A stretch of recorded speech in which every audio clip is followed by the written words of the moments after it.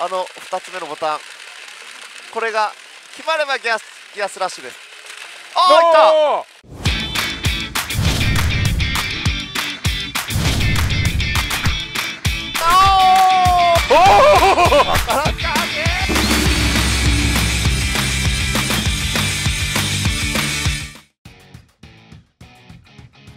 コードギアス反逆のルルーシュでございます。おーいやーさすがに当たるでしょうそれはもう。わあえ？ふう。そりゃそうでしょう。レインボーのギアス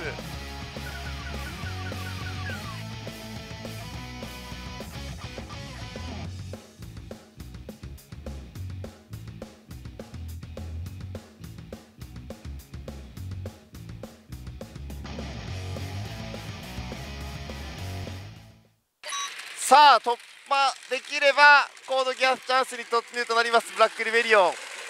トミーさんが戦隊撃破でいったんで僕一撃でいきましょうかね、まずは保留を貯めていって。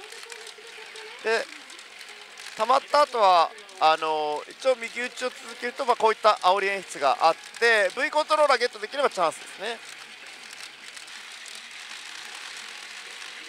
まあなかったですね。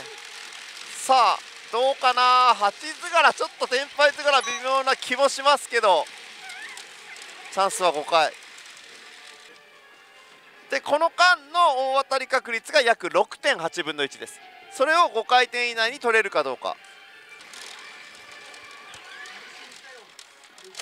あー1回目は失敗。いやーシンフォギアですねだから、うん。シンフォギアみたいな感じですね、ええ。この一撃タイプは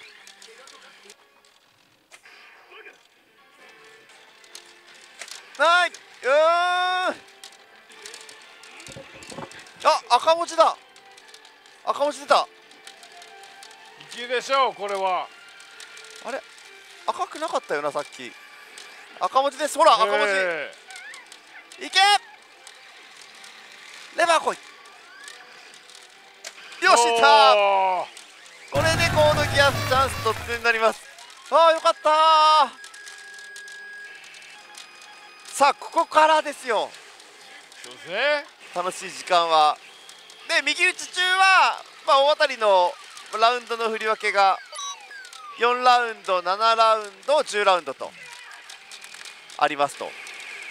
で、えー今度は時短が11回プラス保留4つで、えー15回転でその6.8分の1を引けるかどうか。これが、えートータルでの継続率が約91%ということになってますですごいのがその15回の抽選があるんですけれども15回の抽選のうちの最初の5回転これをめちゃめちゃ速い消化高速消化で見せるんですね、なのでその5回転以内に当たった時は大当たりが終わってすぐ当たりが来る感覚大当たりと大当たりがつながっているような感覚でこう消化していくことができるというのが一つの特徴ですね。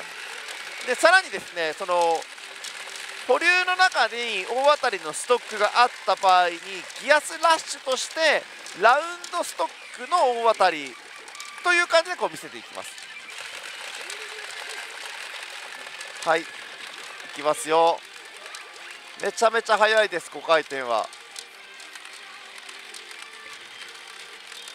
ああそうですね。はい。もうこれで5回転終わってます、でこっからが6回転目ですね6回転目から10回転目まで。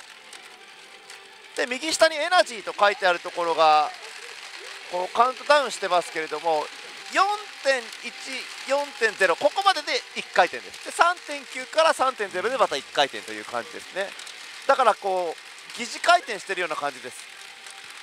で最初の高速回転の5回転での、まあ、突入期待度が約55%と。でここでも約55%その次のラスト5回転も約55%の期待度はあると。いうことなので、まあ、どこでも当たる可能性があるという感じです。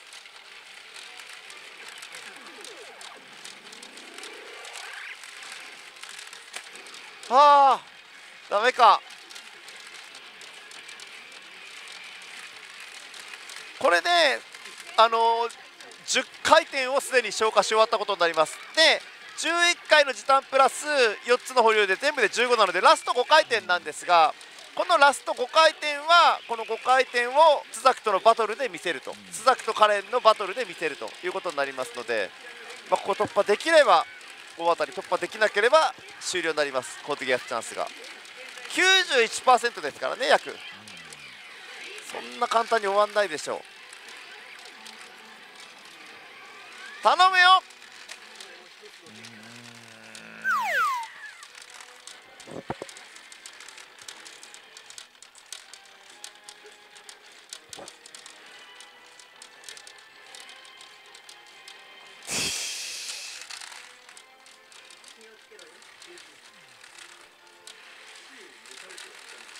一応ここまでがここまでが可能性があるところです。終わった後にラストチャンスですね。はい。えー、6.8分の1を僕15回転回して当てれなかったんですね。まあでも富さん。はい。一応通常時から大当たりまでの流れはこれでまあご紹介できたかなと思います、はい。まあ、ここまではそれでいいじゃないですか。そうですね。ちゃんと出玉バトル用意してますから。そうです。はいあのーすでにコードギアスチャンスに入った状態で2台実は用意してましてまあねこうなるだろうと いうことでご用意していただきましたので、はい。えーここからはですね台を移動して、はい。コードギアスチャンスどっちが出せるか対決。いや91%のポテンシャル見せてやりましょうよこれやなっていうのをね。そうです、はいそうです。はい。こんなところで使ってる場合じゃないぞと。そうですね。じゃあ、ちょっと台の方移動しして。しかとはい見せつけるや行きましょうか。はい。はい、はい。トミーさん。あのーちょっと僕らの力ではまだまだこのコードギアス反逆のルルースのいいところはい。見せれなかったので、まあそういうこともあるだろうと。そうですね。2台ですね、はい。えーすでにコードギアスチャンスに突入している台を用意しました。はい。あとは見ていただきましょうか。はい。じゃあよろしくお願いお願いしますさあ行くぞ。お当たった。ほら。早い早い。一気順調じゃないですか。いいですね。約6.8分の1それは当たりますよね。いやーここから楽しみですね。ですね。で当たりを引いたのでこの後の保留の中、まあ、最初の5回転の保留の中ですかね。に大当たりがあれば、おそらくギアスラッシュが出てくるんだと思います。つまりギアスラッシュが入れば終わらないですよっていうことですね。あ10ラウンドですね。はい。スーパーコードギアスボーナス。で右打ち中の大当たりの振り分けは10ラウンド7ラウンド4ラウンドということになってます。さあこちらも高速消化の5回転。もう終了です。でラウンズバトルですねここから。あ我に従いモードにしたんですねはい。富さんは。91%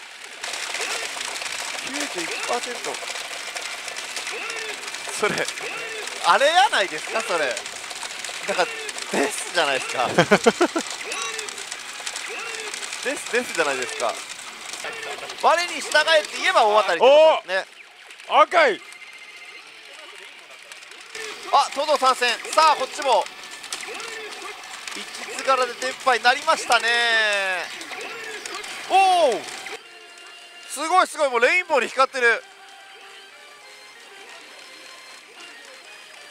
すごいっすよ。はい。はい。いやー高速回転の5回転が終わっても心配することないですね。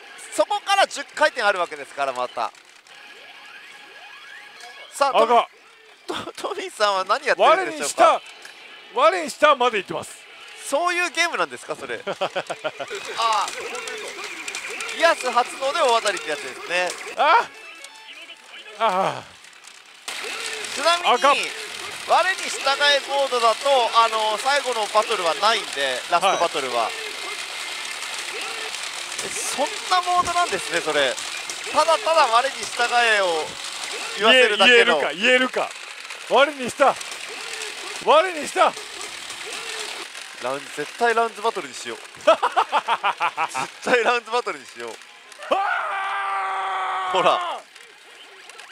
我にした。我にしたでした。はい。え結果1150いくつ？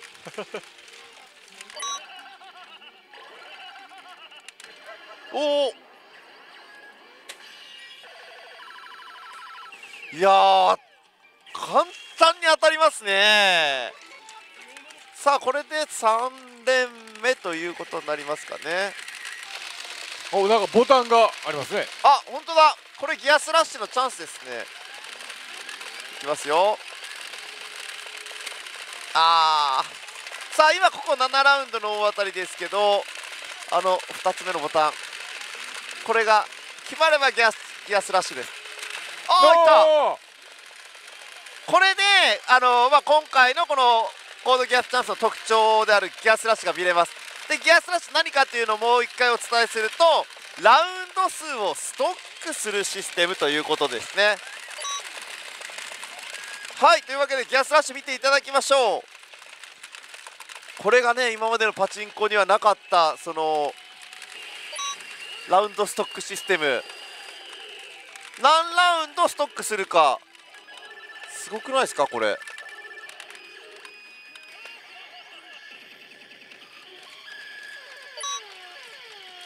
まあ7ラウンドストックってことですね。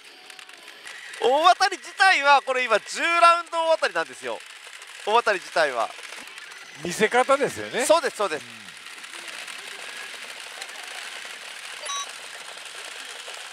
で例えば今これまあ保留の中に7ラウンド大当たりが1個あるっていう認識で間違いないと思うんですけどもまあそうやって保留内の大当たりのラウンド数の合計を上乗せとして見せるというそういうシステムですね。まあでも一気にこう17ラウンド消化するって気持ちいいじゃないですか。これ出玉もね早いので最大10ラウンド大当たりの最大ラウンドが10ラウンドなのにギアスラッシュに入ると20ラウンドとか30ラウンドとかを消化してしまう可能性があるっていうのがなんか嬉しいじゃないですか。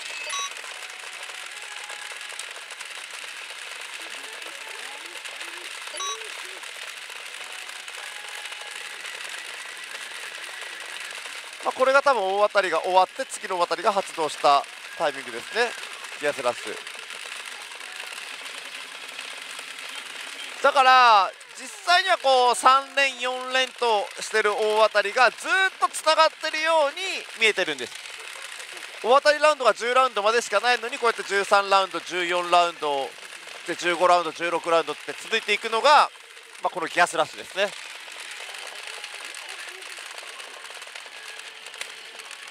あーこれで一応ギアスラッシュは終了ということになります。で高速消化していってるわけですねまだ。そうですでもちろんコードギャスチャンスはまだ終わりません。ここからももちろん約6.8分の1の中点をこう受け続けます。さあこれで高速回転の5回転の後ラウンズバトルの5回転もラストになります。これで10回転消化ですね。ってことで残りの5回転はラストバトル。あ5点杯なんでちょっと待したいですよね。さあ突破できなければここまで突破できるかどうか。続け。あー。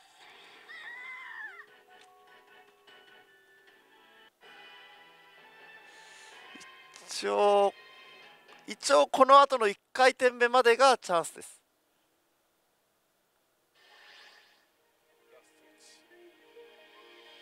こう回送ステージが必ず入るのでここで外れたら終わりです。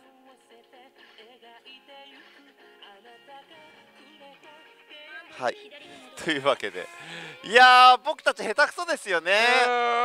そうですねまあでもギアスラッシュがどんなものかっていうのを見ていただけたと思います。というわけで今回 P コードギアス反逆のルルーシュ。はい。まあちょっとね閉店後ということで、まあ、限られた時間での実践でしたけれども僕は面白かったです、えーそうですね。まあ私的にはもう我にしたしたでしたね。我にしした下下下でした。我に下まででしたね。でしたね。替えまで言えずに。え我に下あれ我に従えモードですか？えはい。あれあれつまんないっすね。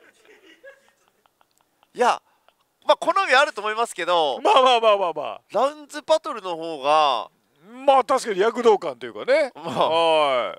だってあれ我にわ我最初我我我我我にした。我にした。我にした我にした。まあ一回経験してみるのはいいかもしれないですね。やっぱ出すのは難しいですね。難しいですね。早いと言っても。はまあでもこれが現実です。いそうですね。はい。はい。実践終了です。お疲れ様でした。お疲れ様でしたまあ出玉スピードに関しては少ないながらもあのギアスラッシュ見ていただいたと思うんですがまあ本当にねこう例えば大当たりラウンドが10ラウンド7ラウンド10ラウンド7ラウンドみたいなやつが全部ギアスラッシュで取れたとしたら合計で34ラウンドを一気に消化してしまうっていうところなんですよね。でその34ラウンドっていうのが1回の大当たりじゃありえないんですけどああやって、えー重ねた大当たりをラウンドストックという形でこう見せているのでものすごく早くこう大当たりを消化して、うん。で大当たり感も早いのでっていうところが、えー今回のコードギアス反逆のルルーシュの一つの魅力かなとも思いました。であと個人的にはあの通常時のストーリー演出、まあ、ストーリーリーチだったりとか最強ゼロリーチだったりとかすごい臨場感とあのうん。液晶のクオリティすごかったですよね。うん。そうですね。奥なんかだいぶありましたしね。あれは僕ね通常ゲームこう物語が展開されるので当たってない時間も本当に楽しいなって本当に感じましたしうまた図柄が揃って大当たりが発動するまでのあの一連の流れですよ。いやーいい流れでした。いい流れ。さあというわけで今回はここで終わりたいと思うんですがはい。さっきからというかオープニングの時も気になってたんですけど、え最14期間店って僕去年から来てますけど、はい。なんか最近になって、えはいめちゃめちゃなんかアそうピーなんですよ。ルしてません？実はですねはい。去年の12月からはい。あの襲名いたしましてですね。あ。これはどこのお店もまあすぐにこう名乗るわけにはいかない。はい。まあえりすぐりの店舗だけが旗艦店を名乗れるというところでして。じゃあこの関西地方にもあまたある気候なグループさんのの中中でもで一つかみだけが名乗ることができる。ますますこの気候なキセラ川西店さんはこの2021年、はい気候なグループの中でも注目のお店ということ旗なんですね。としてそうです。やらせていただくと。いや素晴らしい。いや、はい。おめでとうございます。ありがとうございます。すごいですね、そりゃあ街の明かり心の明かりも灯りますよね。そうです。まあ感謝ということで本当にねお客様に感謝の気持ちを持って、はい。2021年全力で取り組まれるということですので。旗艦店として期間店として。キセラ川西店ははい。頑張ります。やらせていただきます。ぜひ見てほしい。ここだけでも目立ちますけど、はい。本当に旗艦店が嬉しいんでしょうね。もうどこにも旗艦店旗艦店って。